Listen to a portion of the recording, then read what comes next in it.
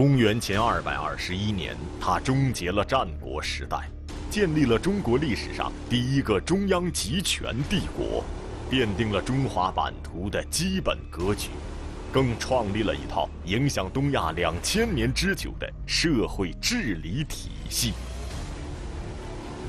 秦始皇是中国历史上最具争议的皇帝，在人们的心目中，他是一位贪婪无情的暴君。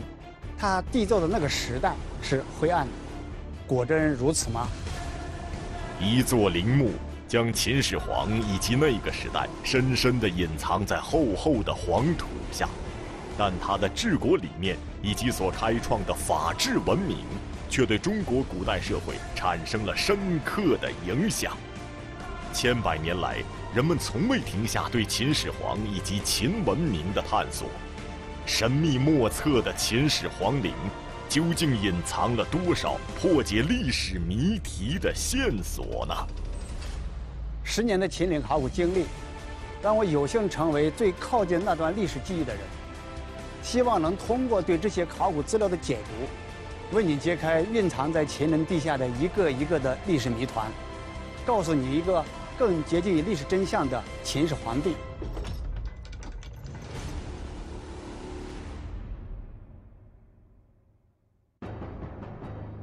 上世纪七十年代，兵马俑在陕西临潼被发现。这支栩栩如生的地下军团一出土就轰动世界。长久以来，兵马俑的主人是秦始皇已成定论。可上世纪八十年代。却有学者对兵马俑的归属提出质疑，他们认为，兵马俑的主人不是秦始皇，而是他的高祖母秦宣太后。那么，兵马俑究竟是为谁陪葬的？历史上威名赫赫的秦宣太后葬于何处？考古发现得出了怎样的结论？西北大学文化遗产学院院长段清波为您解读。秦陵尘封的帝国第八集：兵马俑是谁的？观众朋友们，大家好，欢迎收看法律讲堂。前些日子，有一部电视剧特别火，就是《芈月传》。在这部电视剧里呢，扔下了一枚炸弹，就是我们过去所熟知的秦始皇兵马俑的主人，竟然不是秦始皇。而是一位称之为芈月的人。换句话说啊，有两千二百多年的历史，耸立在骊山脚下的那座高大的陵墓，它的主人，并不是我们一直以为的千古一帝秦始皇，而是来自楚国，是秦昭襄王的母亲秦始皇的太祖母宣太后，啊。兵马俑的主人不是秦始皇吗？这么一部电视剧的功夫，它的主人就成了秦始皇他祖奶奶呢？这个结论可真是够颠覆我们以往认知的。其实呢，在《芈月传》热播之前，上世纪的八十年代，就有人对秦始皇陵的墓主人和兵马俑的属性产生过怀疑，怀疑的理由有很多。比方说，他们认为兵马俑衣服的颜色不对，发型有问题，年号错了，等等。而怀疑者信心百倍，敢于下这个结论的关键证据之一，是来自于一号坑内一件陶俑身上的文字。这件陶俑身上呢，刻有一个字，由左右两部分组成。左边这部分呢是个月字，没有问题。右边这个半个字呢，有不同的认识，或者视读为“背”，或者视读为“半”，发掘者视读为“皮”。按照秦朝物讷功名的制度，这个“皮”应该是制作这件陶俑工匠的名字。但是呢，因为曾经学习过建筑的人，不知道根据什么样的依据，却得出了另外一个结论。他认为。这是个“闽”字这样如果从右向左一读，便成为“芈月”二字。于是脑洞大开，居然顺利的把这个名字和秦国历史上一位姓闵的太后宣太后对接上了。那么历史上到底有没有名字叫芈月的这个人呢？我们不妨来看看文献是怎么说的。《史记·穰侯列传》里边记载，昭王母，故号为闵八子，即昭王继位，闵八子号为宣太后。就是说，秦昭襄王的母亲封为芈八子，后来他的儿子当了秦王，又被封为宣太后，这也是中国历史上第一位太后。这的文献呢，并没有提及这位宣太后的芳名，更没有说她的名字叫芈月。我们只知道她是一位来自楚国的闵姓女子，在后宫中的封号是八子。八子呢是秦汉皇帝侍妾的称号。秦国的后宫分为八级，分别是王后、夫人、美人、良人。八子、妻子、长史、少史。由此可见，宣太后做王妃时候的爵位并不高，属于第五级。既然文献上并没有记载宣太后的名字，那么以陶勇身上作为工匠的名字，硬生生的臆造出一个叫芈月宣太后，来抚慰秦陵陵墓的主人和兵马俑的主人。逻辑上是讲不通的，道理上呢也说不过去。但是四十亿年来，秦始皇陵考古的成果已经给我们提供了非常多的判断陵墓的时代和陵墓主人的充分证据。首先，陶俑身上刻画的字，并不是主人的名字，而是制造陶俑工匠的名字。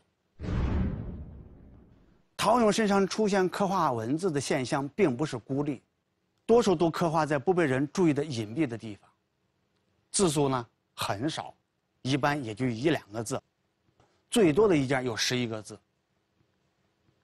除了数字编号以外呢，都是来自于官方民营机构的工匠名字。目前发现了属于人名的一类的有两百五十多个。如果我们去掉重复的，那应该有八十多个工匠的名字。如此八十个工匠的人名，你总不能说兵马俑的主人属于这八十个人吧？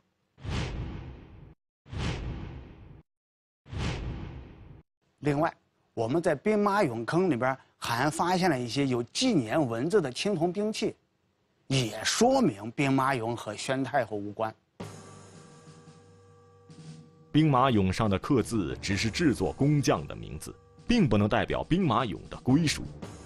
秦俑一号坑出土的多件兵器都带有铭文，这些铭文成为兵马俑是秦始皇陪葬品的铁证。这些兵器上的铭文究竟刻了些什么？它们又蕴含着哪些历史信息？西北大学文化遗产学院院长段清波继续为您解读。秦陵尘封的帝国第八集：兵马俑是谁的？上世纪七八十年代，考古工作者在秦俑一号坑发现了不少的青铜兵器，这里边有二十三件带有纪年的铭文。这些带有铭文的兵器有六件刻有相邦吕不韦，就是明确人名吕不韦的有六件。这六件兵器中呢，涉及年号的有三年、四年、五年、七年。此外，还发现有十五年、十六年、十七年、十八年司工皮十六件。比如我们所看到的这件很有名的兵器——相邦吕不韦戟，上面的文字是：“五年相邦吕不韦造，司工折，成义。”工程说的是五年，由相邦吕不韦负责，由兵器铸造局的局长折监制，由官营工厂的厂长义负责组织，由工匠成制造。那么这件机上的五年是谁的五年呢？了解历史的朋友应该知道吕不韦的大名。他出任秦国丞相是在秦始皇的父亲秦庄襄王的时候，也就是公元前二百四十九年，秦庄襄王元年。庄襄王继位三年以后去世。他的儿子嬴政继位为秦王，尊吕不韦为相邦，称他为忠父。所以我们也就能看见兵器上相邦的铭文，而所谓的五年、十五年、十七年，应该指的就是秦王嬴政继位为秦王之后的第五年、十五年、十七年。就拿五年相邦吕不韦记来说，这五年就是秦王政的五年，也就是公元前二百四十二年。此时距离宣太后去世已经过去了二十三年。假如墓主是宣太后的话，也就是说，宣太后在她去世下葬以后，又继续修建陵墓长达二十三年，一直修到了秦始皇时期。这么大的事件，居然没有文献上的支撑，从逻辑上来讲是无法讲得通的。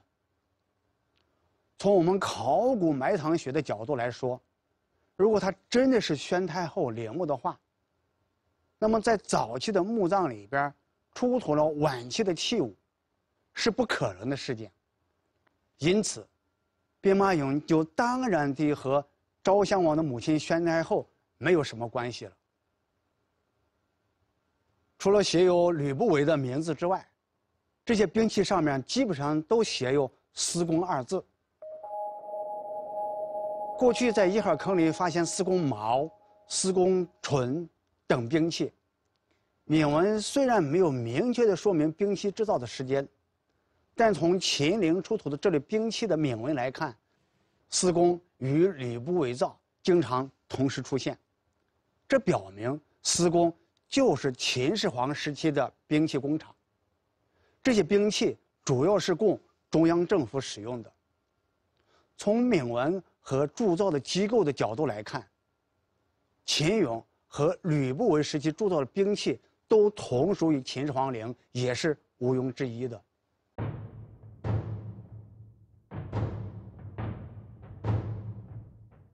考古证据已经回答了第一个质疑。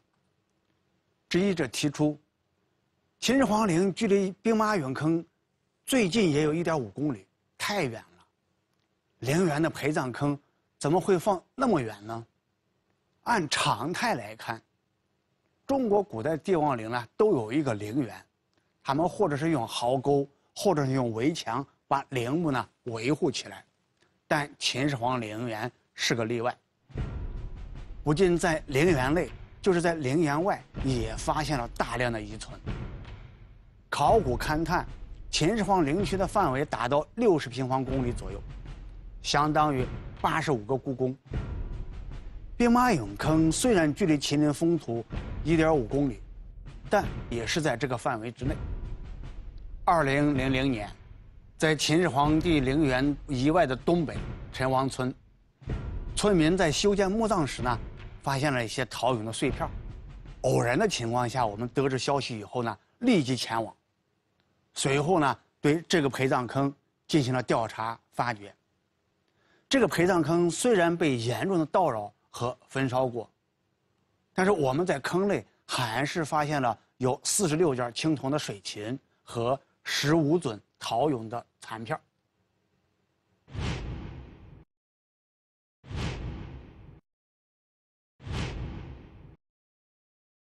这些陶俑的制作方式、彩绘描绘的方式、陪葬坑构造的方式和。兵马俑是完全一致的，它模拟的是水禽栖息的环境，浪漫而恬静。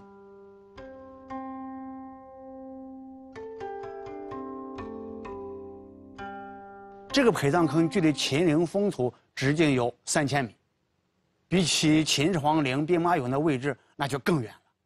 当然呢，我们判断兵马俑的归属还不能仅仅从一座坑。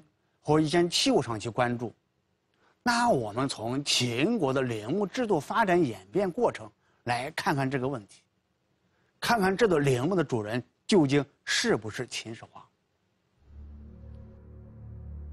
中国古代的帝王陵寝制度有着严格的等级规定，墓葬的规制代表着墓主人的身份和地位。秦国在都城东迁的过程中，完成了从王国到帝国的转变。秦国历代先王的陵墓也随着东移发生着规律性变化，包括临潼的秦始皇陵在内，他们共留下十个陵区。从这些秦人先祖的陵墓，我们能找到什么线索？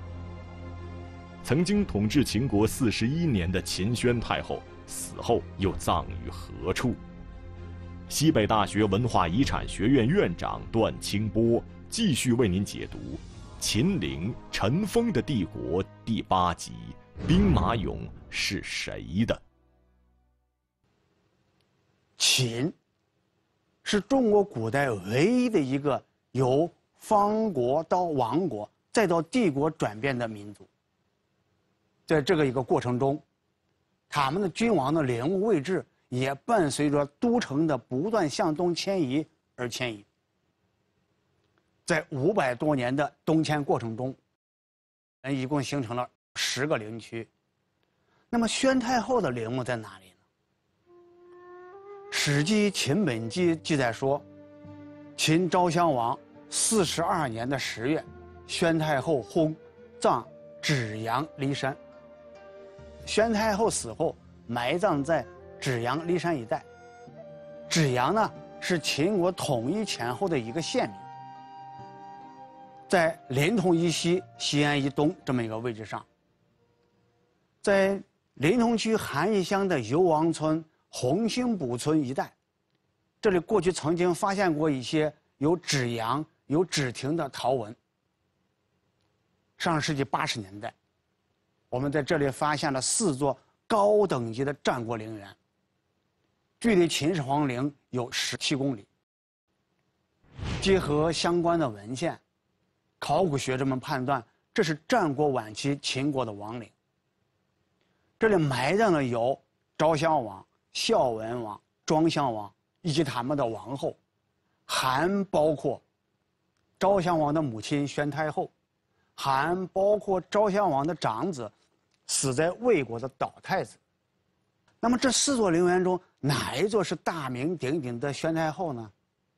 我们判断一号陵园。是昭襄王和他的夫人唐太后。二号陵园里边有几座墓，只有一座是中字形。中字形墓葬在战国晚期已经不是王这个级别的了，它因此呢可能是道太子的墓。另外还有一座四号陵。四号陵园只有一座雅字形的大墓，主墓道在东。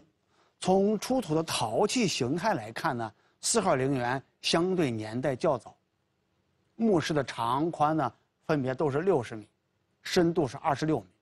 这个墓可能它的主人就是宣太后。虽然秦东陵各个陵园的墓主归属学术界含有争议，但宣太后葬在这里是不争的事实。直到二零一零年的秋季，盗墓分子的一次盗掘活动给我们提供了一个机会。从被盗出的文物，可以帮助我们分析这座墓葬的主人。二零一零年十月，秦东陵发生的一起盗墓案件，意外揭开了秦东陵一号陵园墓主之谜。当时，秦东陵文管所的工作人员在辖区例行巡查时，意外发现了一号陵园有疑似被盗掘的痕迹。接到报警赶来的公安民警。在这座墓葬的中心位置，发现了一个深三十米左右、直径五六十厘米的盗洞。为确定墓葬被盗情况，公安民警带着氧气瓶深入盗洞底部。令人震惊的是，他们发现盗洞已经挖到了黄长提凑墓室的侧回廊，距离墓室中心位置只有一步之遥。黄长提凑的墓葬规制，只有帝王级别的人才能使用，考古专家之前推测，这座墓葬的主人很可能是秦宣太后的儿子秦昭襄王，而追回的被盗文物则进一步印证了这一点。公安部门呢，很快就侦破了此案，追回了被盗出来的一些文物。其中有一件八年造的漆木高足斗，还有三件刻有大官的漆木器，还有七件长四十八厘米的猪丝。在我国的北方地区墓葬中发现这些保存完好的漆木器实属罕见，特别是漆木高足斗上。上面刻有“八年相邦薛君造，雍公失孝公大人身”。没错，这就是我们所说的乌勒功名。这个薛君就是秦昭襄王在位的时候入秦为相的战国四大公子之一孟尝君。这个高足斗的发现，可以明确一号陵就是秦昭襄王和他的夫人的合葬陵园。这件漆木高足斗是秦汉时期使用的类似果盘的容器，看起来并不起眼，可它上面却刻着制作工匠的名字，甚至还将相邦的名字一并刻上。这背后就是秦国严格的物勒功名管理制度。制作器物一旦出现问题，可以依据铭文追查各级相关人员的责任。两千多年后，这件漆木高足斗上的铭文证明。秦东陵一号陵园的墓主人是秦宣太后的儿子秦昭襄王。明确这一点后，我们就可以通过秦昭襄王陵墓与秦始皇陵的对比，进一步印证秦始皇陵并非是秦宣太后墓葬的推断。秦昭襄王的墓室为方形，长六十米，宽六十米，面积是三千六百平方米。而秦始皇帝墓室的面积呢？它东西长一百七十米，南北宽一百四十五米，总面积两万五千平方米。这个面积呢，是秦昭襄王墓室面积的近七倍。现在这座秦始皇帝陵，如果真的是宣太后的话，就墓室的规模而言，它就比任何秦王陵的墓室面积都大好几倍。一个太后无论如何。是不能用这种规模的墓室的。四号陵园和一号陵园的大墓规模一致，说明宣太后陵墓的规模和他儿子的规模是一样。从陵园陪葬坑的规模、数量、内容来看，秦始皇陵也不可能是宣太后的墓葬。秦统一之前，各个国家的陵墓里边陪葬坑的数量都不多。埋葬的内容也简单，仅仅就是车马坑。比如秦东陵四座陵园里边，只发现了三座陪葬坑，出土的大多是一些与车马相关的器具，并没有发现陶俑。而到了秦始皇陵，史无前例的发现了两百多座陪葬坑。除兵马俑坑外，还发现了有文官俑坑。百戏影坑、青铜水琴坑、马厩坑等等，这样的情况与秦东陵相比，可以说是一种制度性的创新。我把它称之为外藏系统。秦始皇陵的这个外藏系统，它的功能不是后来的文献中所说的那样除旧逼切之术，而是皇帝专制体制下中央政府的管理机构。在地下的模拟再现，秦兵马俑坑也只是庞大的外藏系统的冰山一角。我们从陵墓的封土规模上看，秦始皇陵也不可能是宣太后的墓。秦国陵墓的封土存在着从无到有、从小到大、从低到高的发展历程。从文献的记载看，秦国陵墓封土出现的时间为战国中期。秦孝公和秦献公时期，虽然封土的形态和大小我们还不清楚，但从文献上看，称其为中。这些陵墓的封土高度其实可能不会太高，大概就是稍微隆起了一点，像平平的山顶那样。秦东陵的三座雅字形大墓的封土均是平缓的丘陵状，高度啊也只有两到四米。如果在现场调查的时候没有经验，估计是看不见封土的痕迹的，更不会想到秦东陵的封土只有这么高。这么说来呀，虽然在秦昭襄王的时期，秦国的国力已经是所。但秦国的陵墓在战国后期依然没有出现高大的封土，那么，位于骊山北麓这座高达五十多米的封土的陵墓，肯定不是战国晚期的秦陵了，当然，也就与玄太后没有任何关系了。对于像秦始皇陵这样的考古大作，历经了四十多年，几代人付出了努力和汗水，我们的一些结论。不是凭一件陶俑、一个陪葬坑、两个陶文来判断。这就是宣太后或者是秦始皇的，我们是通过一系列互不矛盾的证据链来论证的。历经了近四十年关于兵马俑主人讨论的背后，应该给我们留下更多的思考。好，感谢您收看法律讲堂，也欢迎您关注栏目服务号。一同探讨历史，品读文化，解析法律疑点、难点。再见。第一次看到兵马俑坑里的陶俑军阵，一定会感觉到震撼。栩栩如生、严阵待发的军容，引发人们种种猜想。甚至有人认为，这些兵马俑就是当年的秦军。历史的真相究竟如何？秦始皇为什么要把这样一支庞大的军团带入地下？西北大学文化遗产学院院长段清波下期将为您讲述第九集：秦军怎么炼成的。